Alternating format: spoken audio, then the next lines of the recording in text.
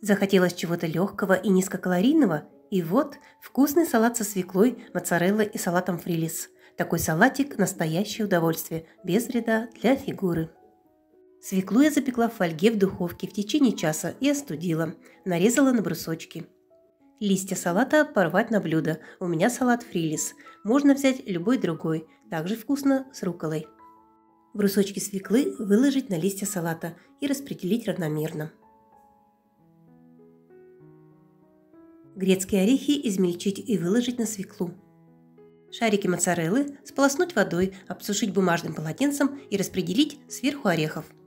В миске соединяем оливковое масло и соевый соус по 2 столовые ложки. Слегка взбиваем и заправляем салат. Обалденный салатик. Я готова есть его каждый день.